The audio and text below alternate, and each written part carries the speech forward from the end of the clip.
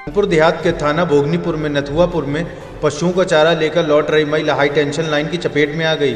हादसे में महिला गंभीर रूप से झुलस गई है।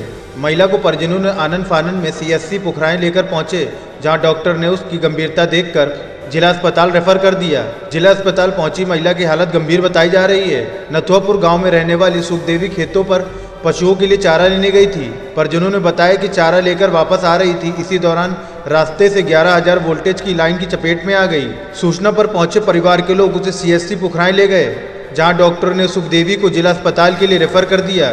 जिला अस्पताल में महिला का इलाज शुरू हो गया है। डॉक्टरों के अनुसार महिला की हालत गंभीर बनी हुई है। Bureau report IPN